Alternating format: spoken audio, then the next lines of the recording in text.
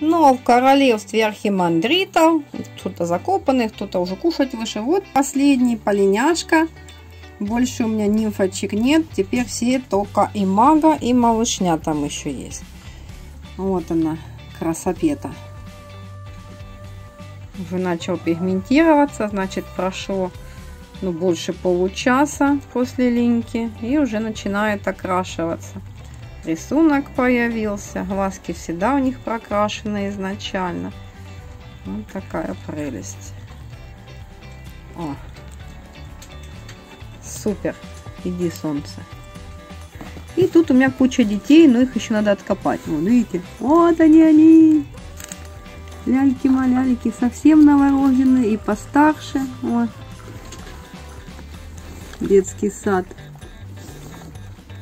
Ну, так как они подземные жители, увидеть их просто так нереально. Вот сравните размер малыша и взрослого. Вот это вот уже третья линька. Там он есть совсем крошечки.